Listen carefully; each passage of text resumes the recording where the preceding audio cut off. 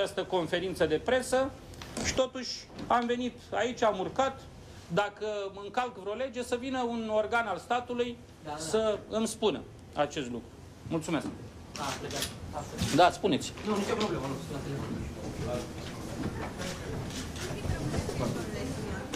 Până îl găsim pe ministrul energiei, poate îl căutăm împreună pe aici, pe minister.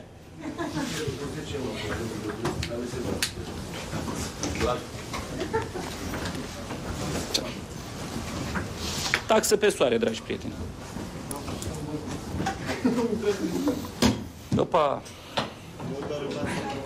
am revenit cu scandalul de la Ministerul Energiei pentru că uh, liderul AUR, George Simion, uh, din momentul în care secretarul de stat de la Ministerul Energiei a anunțat că ministrul Virgil Popescu va amâna această conferință de presă, uh, a mers în fața reporterilor la microfon, le-a explicat cum a reușit să, să intre, să ajungă în sala de conferințe.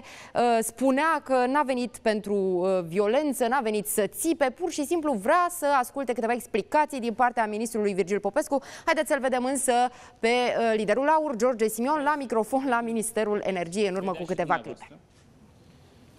Și, din păcate, soarta a milioane de români este în mâna unui individ fricos care se teme de opoziție și de eventualele întrebări pe care un simplu deputat ar putea să le adreseze. Din păcate, această lașitate este caracteristică pentru întreg cabinetul Ciucă. Din păcate pentru Partidul Național Liberal, faptul că teme de interes, precum embargoul pus pe țițeiul rusesc și creșterea prețului la pompă și taxa pe soare, o idee Domnule, nemai auzită ilegal, nu ați fost primit, ați forțat intrarea. De ce ocupați o instituție a statului și nu apelați la alte instrumente parlamentare?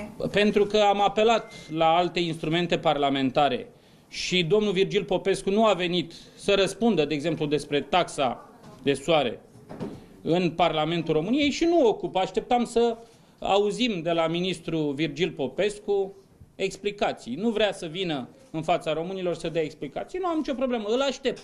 Poate vine. Am, am solicitat, am, am 10 intrări consecutive în Ministerul Energiei, cerând audiențe la Ministrul Energiei și de fiecare dată ministrul nu a dorit să participe.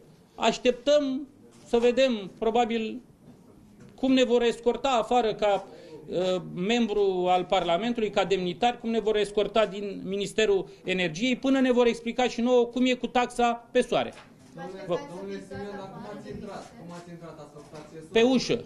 Pe ușă am intrat, mi s-a spus că eu nu aș avea dreptul să particip la această conferință de presă și totuși am venit aici, am urcat, dacă încalc vreo lege, să vină un organ al statului da, da. să îmi spună acest lucru.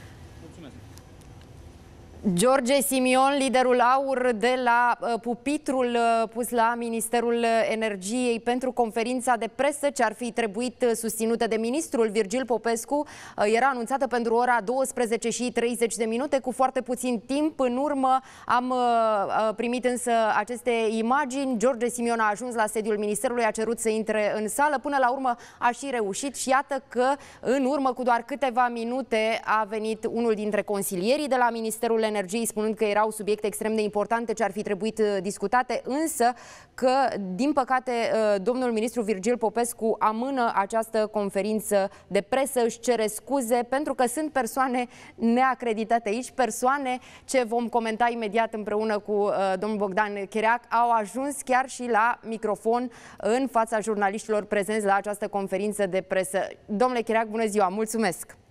Doamna. În primul rând vreau să vă întreb, nu știu, eu cel puțin n-am mai văzut o situație similară până în momentul acesta. E legal ce a făcut domnul Simion? Îl vedem în momentul acesta în Ministerul Energiei, vorbind el la microfon în locul ministrului Virgil Popescu, cel care ar fi trebuit să susțină conferința.